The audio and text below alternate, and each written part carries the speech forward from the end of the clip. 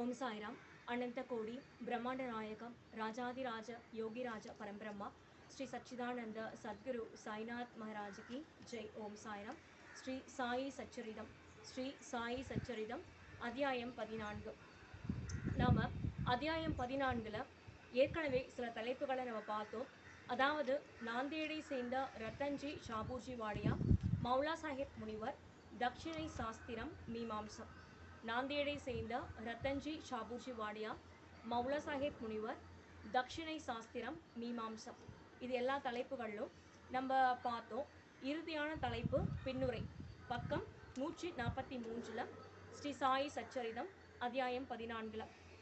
பின்னுரை இன்னைக்கு நம்ம பாபாவுடைய ஆசீர்வாதத்தினால் இன்னைக்கு நம்ம அதிசயத்தை நம்ம பார்க்க போகிறோம் பிவி தேவ் பிவி தேவ் என்பவர் ஓய்வு பெற்ற மாம்பழத்தாரும் பாபாவுடைய மிக பெரும் பக்தர்களுள் அடியவர்களுள் ஒருவரும் ஆவார் இவர் சாயிலீலா சஞ்சிகையில் தொகுப்பு ஏழு எண் இருபத்தி ஐந்து பக்கம் இருபத்தி ஆறில் பின்வருமாறு குறிப்பிடுகிறார்.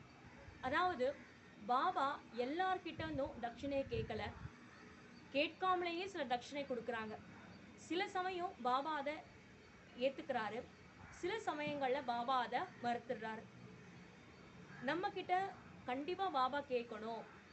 அப்படின்னு அடியவர்கள் யாராவது நினச்சாங்கன்னா நாம் இப்போதே பாபாவுக்கு தட்சிணை கொடுக்கணும் அப்படின்னு அடியவர்கள் நினச்சாங்கன்னா பாபா அவங்கள கேட்கறதே கிடையாது.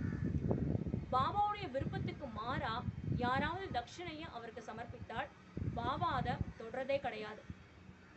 ரொம்ப நேரம் அதே இடத்துலயே அந்த தட்சிணை இருந்ததுன்னா பாபா அந்த அடியவர்கள் கிட்ட இந்த இடத்துல இருந்து இந்த தட்சிணையை அப்பால் எடுத்துக்கோங்க அப்படின்னு சொல்றாரு. பாபா சில குறிப்பிட்ட அடியவர்கள்கிட்ட மட்டும்தான் கேட்குறாரு.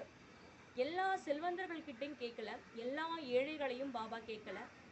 பக்தர்களுடைய விருப்பம் பக்தி சௌகரியம் இவைகளுக்கு ஏற்றவாறு சிறிய பெரிய தொகைகளை பாபா கேட்குறாரு தட்சிணையா. பெண்கள் குழந்தைகளுக்கிடமும் பாபா தட்சிணையை கேட்குறாரு. இந்த மாதிரி தட்சிணை கேட்கும்போது தட்சிணை கேட்டு கொடுக்காதவங்க கிட்ட பாபா என்றைக்குமே கோபமானதே கிடையாது. யாராவது ஒரு நண்பன் மூலமாக பாபாவுக்கு தட்சிணையை சமர்ப்பிக்க சொல்லி கொடுத்து அனுப்பிச்சிருந்தாங்கன்னா அந்த அடியவர் பாபாவுக்கு அந்த தட்சிணையை கொடுக்க மறந்துருந்தாங்கன்னா எப்படியாவது அந்த அடியவருக்கு அந்த நண்பன் மூலமாக அனுப்பிச்சு அந்த தட்சிணையை ஞாபகப்படுத்தி பாபா அதை கொடுக்க சொல்கிறார் அந்த தட்சிணையிலேருந்து கொஞ்சம் பணத்தை அவர்கள்கிட்டயே அந்த அடியவர்கள்கிட்டயோ இல்லை கொடுத்தவங்கக்கிட்டேயோ திரும்ப கொடுக்க சொல்லி பாபா ஆசிர்வதிக்கிறார். இந்த மாதிரி செய்யும்போது அந்த தட்சிணை பாபா கையிலிருந்து அவர்களுக்கு கொடுத்துருக்காங்க இல்லையா? அந்த தட்சிணை அதாவது மிச்ச பணத்தை பெற்றவருக்கோ இல்லை அந்த அடியவர்களுக்கோ மிகப்பெரிய ஒரு சந்தோஷத்தை ஒரு நன்மையை அளிக்குது.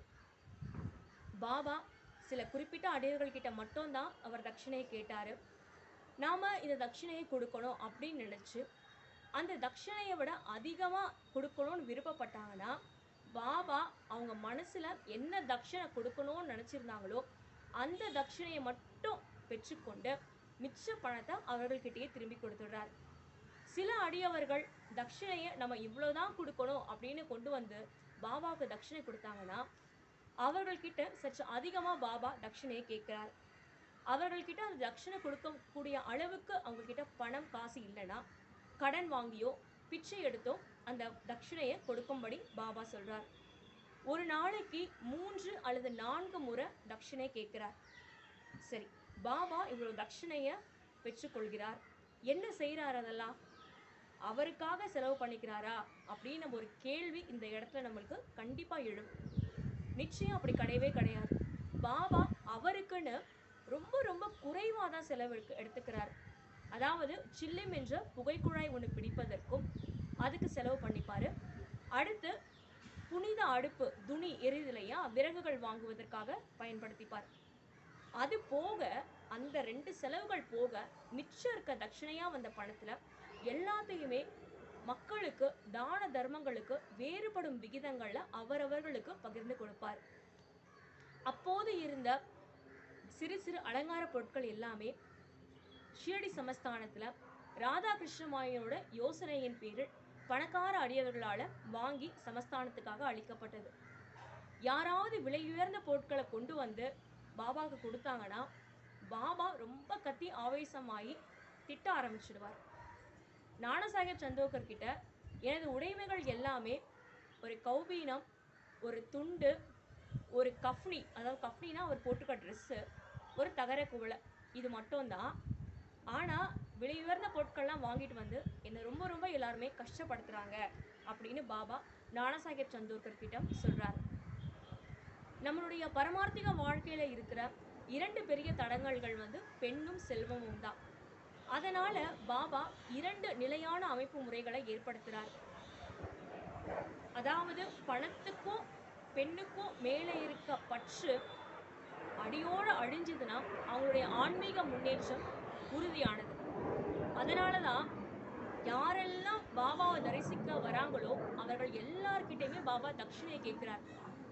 பணத்து மேலுள்ள பற்று அவங்களுக்கு அறவே அழியணுன்றதுக்காக.